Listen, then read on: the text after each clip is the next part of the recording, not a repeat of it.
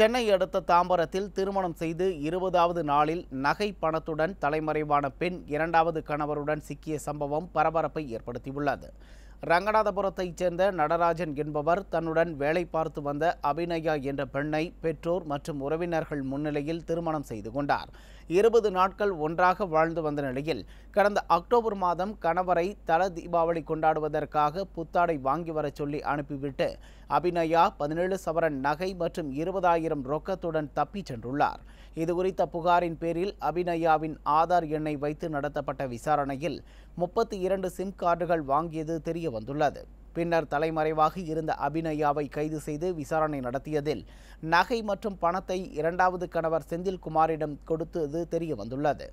மேலும் நான்கு பேரை திருமணம் செய்து பல பேரிடம் மோசடியில் ஈடுபட்டதும் விசாரணையில் அம்பலமாகியுள்ளது. இதனை அடுத்து இருவரையும் கைது செய்த போலீசார் நீதிமன்றத்தில் ஆஜர்படுத்தி சிறையில் அடைத்தனர்.